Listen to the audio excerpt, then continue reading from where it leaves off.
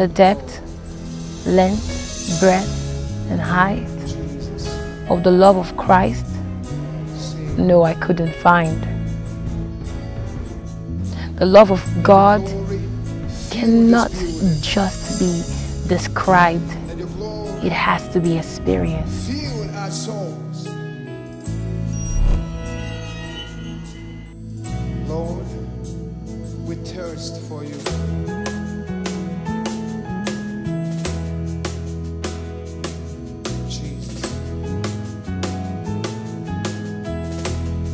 For we have experienced the love, and so we worship.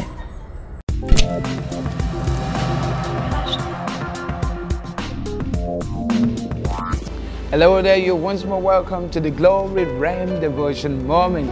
This is the day the Lord has made, and we will rejoice and be glad in it. Something is working in somebody's favor right now. I don't care what you seem to have gone through, God has a wonderful plan for you, and His plans for us are good, not evil, plans to bring us to our expected end. Hallelujah.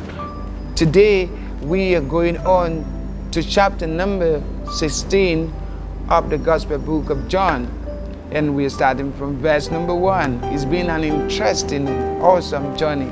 Now let's read chapter number 16 from verse number one. Jesus speaking, I have told you all these things so that you should not be offended, taken unawares, and falter or be caused to stumble and fall away. I told you to keep you from being scandalized and repelled. Now, what was Jesus talking about here? Remember in chapter 15, he had told the disciples that the world will hate them because they hate him, Jesus Christ. All right? And that his servant is not greater than his master. And if they hated him, they will hate us, the Christians. And if they receive him, they will receive us. And so he was like, don't be surprised, don't be taken aback. And he said something very important here. He said, so that you should not be offended.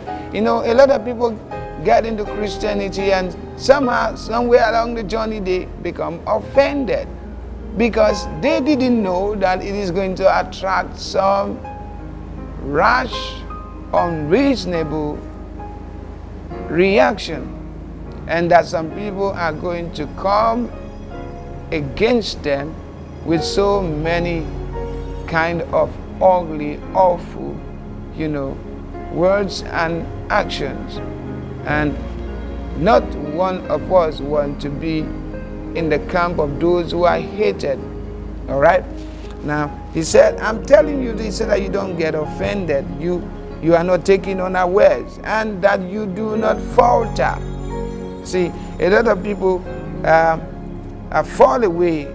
A lot of people stumble because they were told immediately you become a child of God, everything will be fine. Everything will be smooth the world will be a wonderful place. But the reality is this. Because, because you are a child of God, some people will hate you. Just the fact that you are a child of God. You see, they hate you because you have a different spirit. You have a Holy Spirit on your inside. And what they have is not a Holy Spirit. It's a spirit that allows them to do whatever they want. All right? And so when they see somebody who has a spirit that is pure and doesn't allow the person to mess up, they get angry because they are reminded of their sins. Says sinners get angry with the saints, Christians, because the Christian remind them of a life that they are unable to live and remind them of their sin. And so they get angry. And some of them who are unbelievers, as we call them, sinners, who have tried by their own ability to live away from certain, you know, ugly attitude and sinful tendencies, sees you as a Christian and they are angry with you. Why?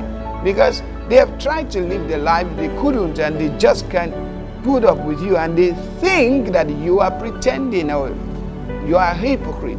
And that's the reason why we must be careful as Christians not to live the life that will cause people to scandalize, like Jesus says.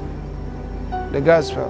Verse number two says, They will put you out of, expel you from the synagogue, but an hour is coming when whoever kills you will think and claim that he has offered service to God.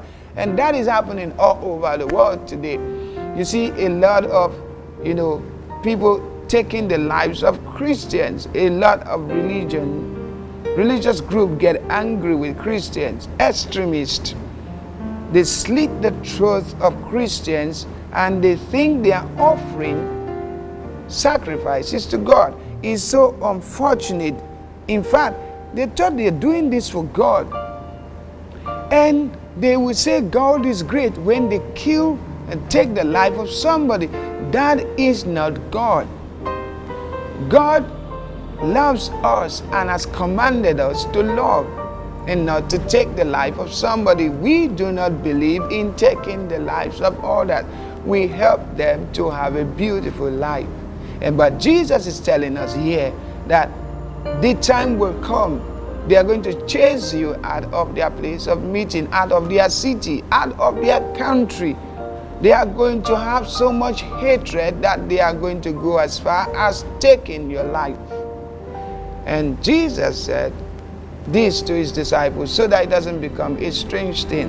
The Bible says in Revelation that they love not their life unto the death.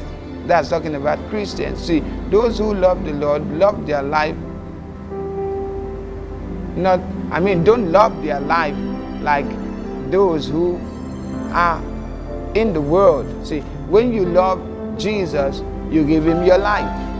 And when you give him your life, you know that he's able to keep that which you have entrusted unto him against that day, like Paul wrote telling Timothy.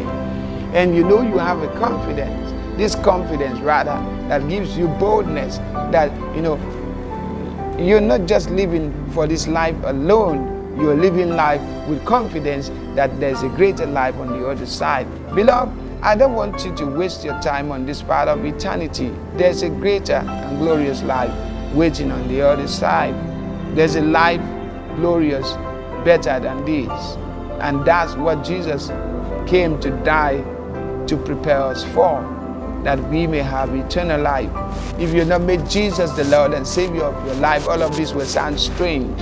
But when you truly take a look at the words of Christ and actually take a look at life, and you're going to realize that the child of God has greater hope right here on this earth and also in eternity.